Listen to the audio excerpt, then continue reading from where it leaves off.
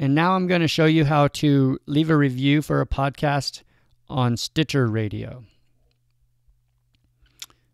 When you go to Stitcher.com, you can't actually leave a review anywhere that's easy to get to on the Stitcher website. Even in the Stitcher help form, they say the only way to leave a review is on the Stitcher page for the show. So they suggest going into Google and looking for it there.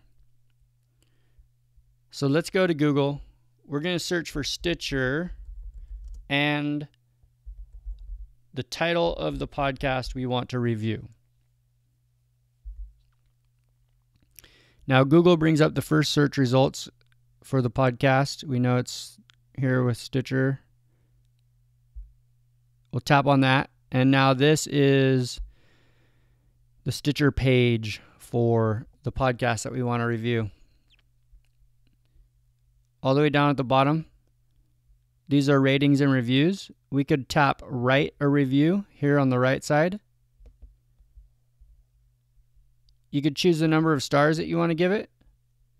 Type a short title and a little bit longer description of what you like or don't like about the podcast. Put in the name that you want it to show up on the page next to your review and then type in your email address here just so they know you're real and click post a review. And that's how you rate and review a podcast on Stitcher Radio.